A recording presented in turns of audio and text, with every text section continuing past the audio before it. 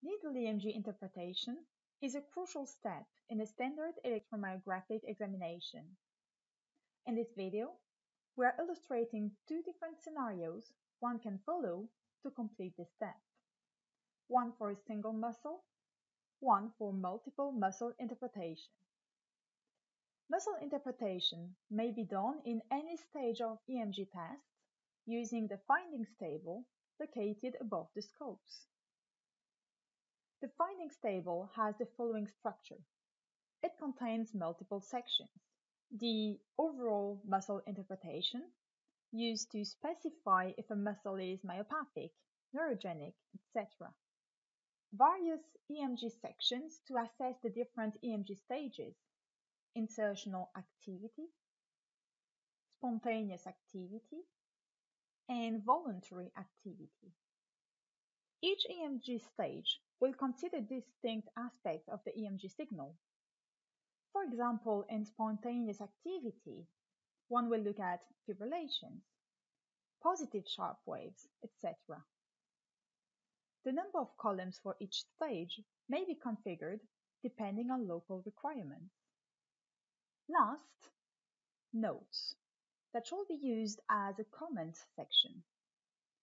One can type any free text to add further personal details to the interpretation. It may be used to write the firing frequency of a specific motor unit potential, for example. By default, EMG stages are marked as normal. The software may be configured to state otherwise. If abnormalities are seen during testing, it is necessary to score the muscle accordingly.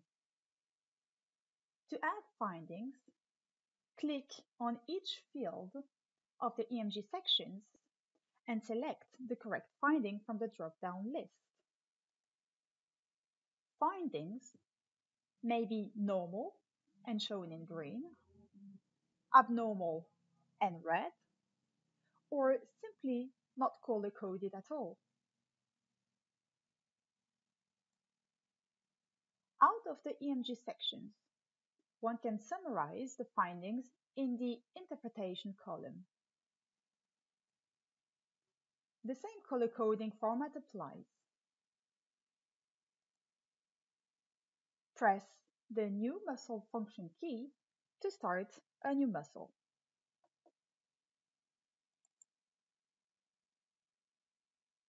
Repeat this process after each muscle examination. One may prefer to examine all muscles first and proceed to interpretation at the end of the entire needle EMG examination.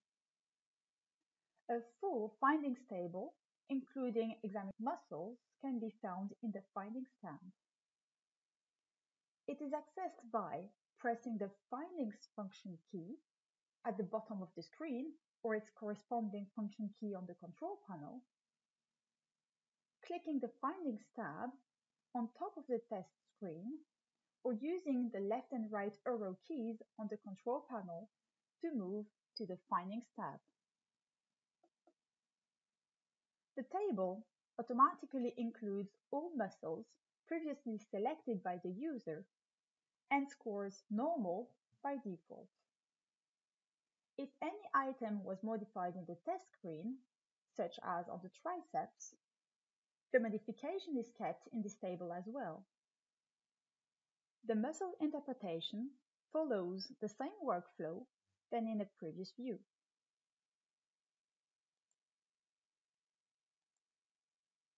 Two extra features are available in this view.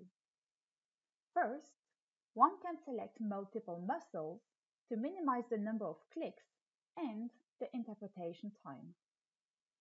Click and drag down the mouse on the muscles of interest and select the result from the drop-down list.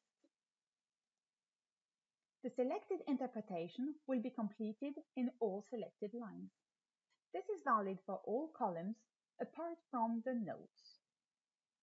If one uses the default table template, one may also use an extra feature called rules.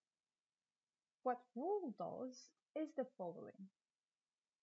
It considers the details entered for all EMG stages. Out of them, it suggests a general interpretation for the muscle.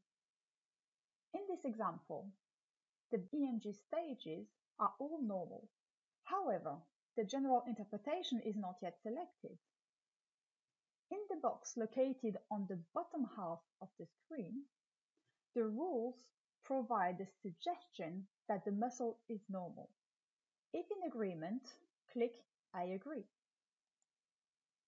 The interpretation column changes to normal.